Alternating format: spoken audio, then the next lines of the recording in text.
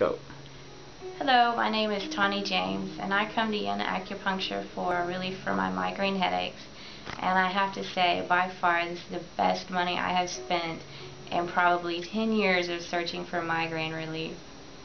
Awesome.